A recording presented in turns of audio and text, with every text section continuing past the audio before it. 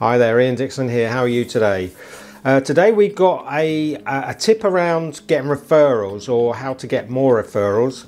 Um, uh, if that if you're somebody that would like to get more referrals then stick around this is going to be a four or five minute video no more than that uh, but it's just a strategy or a method by which I'm pretty sure if you follow this uh, strategy, you'll definitely get more referrals for your business. So uh, please do click on the subscribe button and ding the bell. Uh, but without further ado, we'll get into it. So um, I do spend a lot of my time uh, working with clients on how to get more referrals. I certainly know that most of you will get most of your uh, leads from referrals. I know that it's like um, because word of mouth is one, one of the most popular ways in, in which uh, business comes to us. If we do a good job, people say nice things about us and then they refer business to us. So, right, there's a few, thing that, a few things that happen as a result of that. One is uh, because we do get referrals without doing anything other than a good job,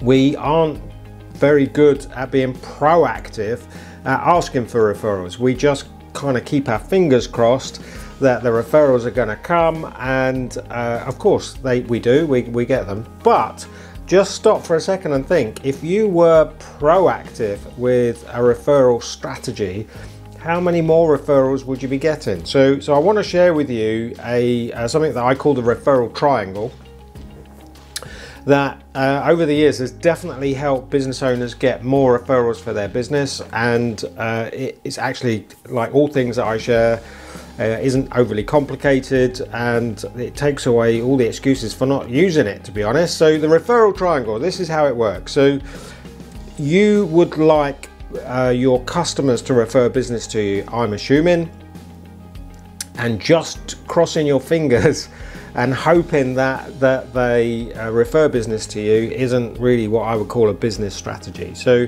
the way to do it is to um, uh, create a triangle where you have um, your existing customer and they know people that you would like to come to you uh, through them as a referral. So just by crossing your fingers and hoping that they will, of course, and by doing a good job, isn't really enough. So because the person taking the risk is the person is your customer that has experienced your your uh, product or service. They are essentially taking the risk. So so one of the ways to mitigate that risk is to incentivize them uh, but not only to incentivize them but also to give them something to give to somebody that incentivizes them to come to you.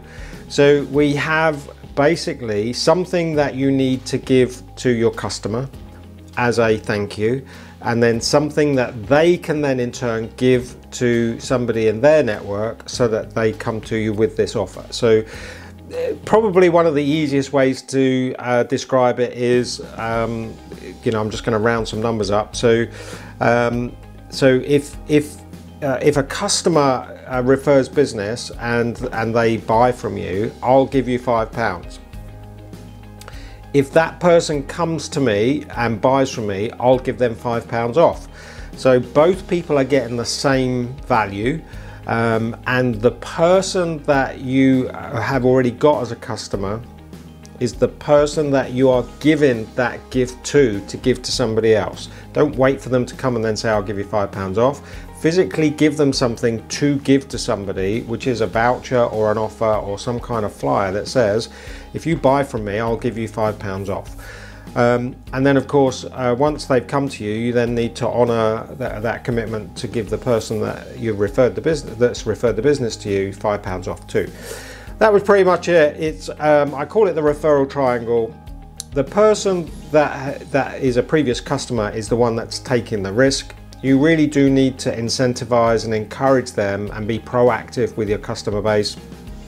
And one of the a great way to do that is this simple referral triangle where you incentivize the person who has bought and you also give them something to give to somebody else that encourages them to come to you. So, so it's not just the level of service and the quality of the product that you've supplied, there is also a reward or an incentive to, because they are essentially taking a risk. So um, underneath that, just as a quick caveat, because I'm conscious we're five minutes in and I really wanted to try and keep it to five, you will get more referrals. This is like a, a bolt on, is a, is a bonus, if you like, a bonus tip.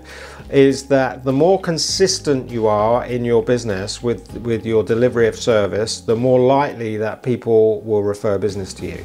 I've sat down with two businesses identical, you know, identical in the same industry, uh, not at the same time, but uh, you at separate times One's got lots of referrals and one hasn't.